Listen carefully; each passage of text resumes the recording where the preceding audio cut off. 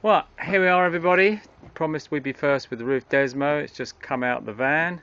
George is going to give the 57 and the 58 a try. He claims it's a 57, I claim I'm a 58, so we're just going to check with the sizes are okay.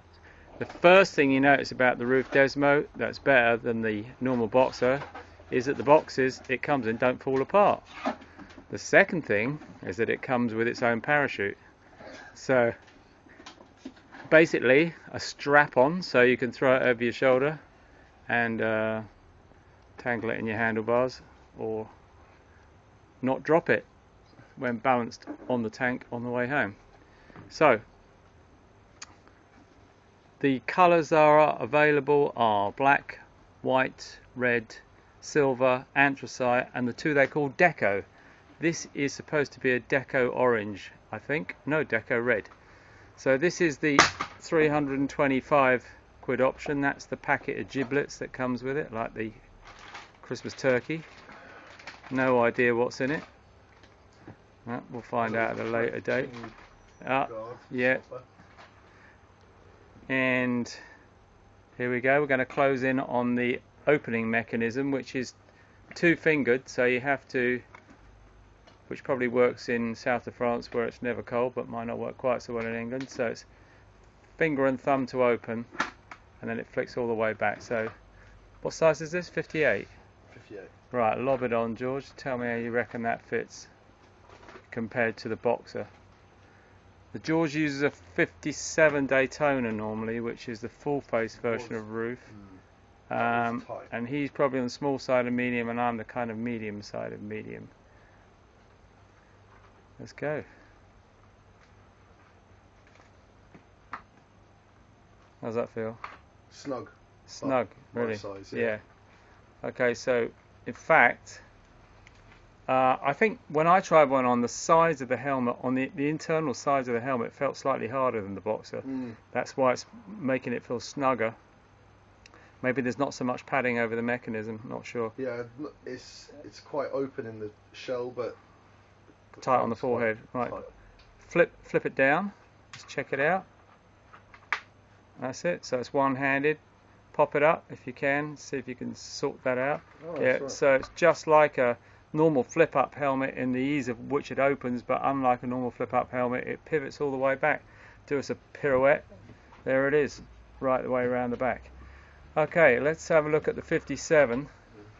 Um, so verdict at the moment is that the new Desmo could feel a tiny bit smaller than the equivalent size in the Boxer. Now, so that's uh, that's called a red and white deco. Let's go for the orange Pilote. Now the orange Pilote has the distinction of being unavailable in a 58 at the moment because apparently all the French have fallen for the orange graphic look um, but pretty much everything else is available if you call very soon. If you call at the end of next week, it probably won't be. No, black, white, black gloss, pearl white gloss, red gloss, anthracite, and silver. That's a silver and an anthracite, two different versions apparently, although we haven't taken them out of the box yet. Five plain colours and two graphics we've got in almost every size at the moment, but by the end of next week that could all be different. So that is the orange, uh, white, silver graphic. You can see why it's sold out. It's pretty damn lush. Go on, lob that on George before the camera goes flat and for customer walks in. No, that's not very likely as it's pissing down. And before I run out of things to say. Right. Yeah, you can see straight away that looks a bit more perched on his Swede, which means it's a bit too small. Mm.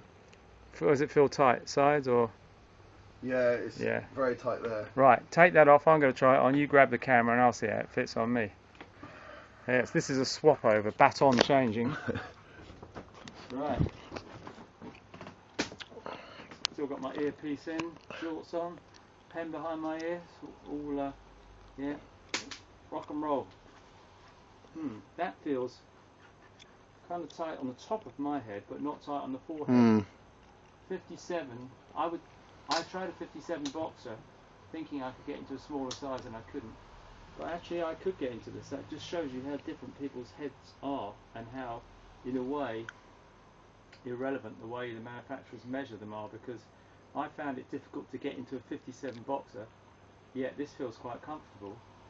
George has got a 57 Daytona, but he thinks he needs a slightly bigger size. Mm. So the moral of the story, the moral of the song is come to the shop and try one on.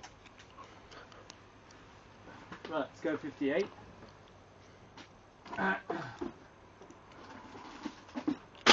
Giblets out. This should feel significantly bigger, but it will undoubtedly be the same shell size with less padding, which is why extra small helmets always weigh more than extra big Mm. Hmm, tricky. That does feel comfortable. Mm. have to say, back to back, I would probably go for the 58. There's no pressure anywhere on the top. Uh, it is definitely one-handed. It might not be one finger getting it off. Might not be any fingers at the front. Yeah, it's definitely an acquired technique, Yeah. but easy once you know how. So, visor down, visor up, all the way back. When you think how incredibly ugly a Shark Synchrotech is compared to this, and how Shark claimed that it had to be that ugly, makes you realise what an amazing job Roof have done with this helmet.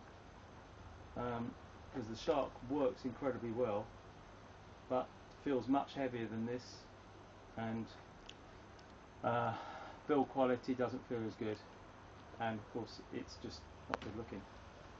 Like me. Rock and roll. All right.